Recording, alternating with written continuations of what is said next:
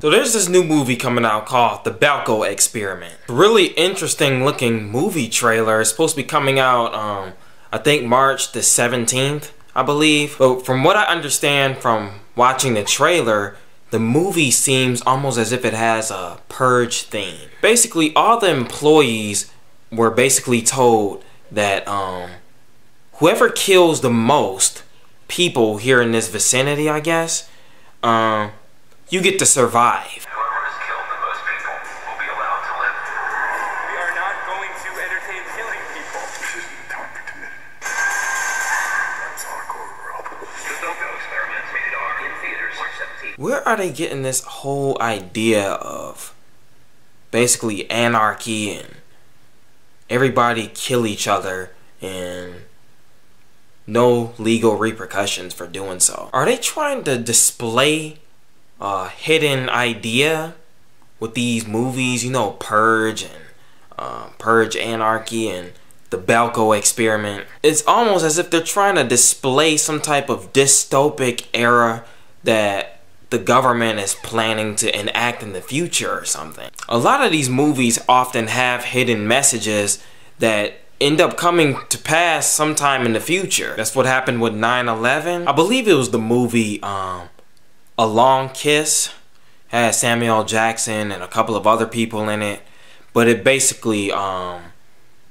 one of the characters was talking about how you have to, how he had to fake a bombing of the World Trade Center and basically there's no way to really fake killing 4,000 people so they're gonna have to just do it the real way and they were doing that in order to scare money out of Congress and it was an inside job and whatnot.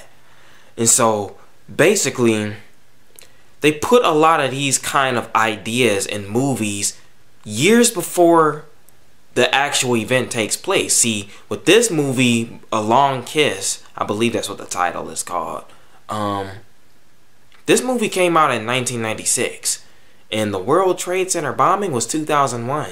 Five year difference. Many people will most likely say, dude, it's just a movie, or man, you paying too much attention to this, but there has been plenty of movies where it's obvious that the Illuminati and the powers that be were putting information in the movie so that it would it would basically precede the actual event.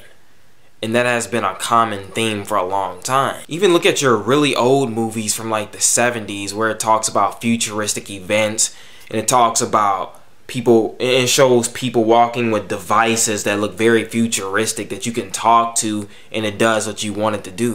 And it's like nowadays we got iphones and android phones and um, other devices that do all kinds of things that we would have considered to be very futuristic. Matter of fact they even have flying vehicles now that they're coming up with. There was a flying motorbike where it has propellers and it propels you right into the air and you can fly on this machine. And so basically, my point in saying all of that is that they often put ideas in the movies first and then they later implement it in the future. So, I don't know. Bottom line, I think it's time for people to open their eyes and pay attention to the messages that are put forth in the media, whether it's in the news, whether it's in the movies, or whether it's in a freaking novel you're reading. Bottom line, I think it's time for people to pay attention to the times and pay attention to what the heck is going on. They put a lot of stuff in the movies before it actually takes place.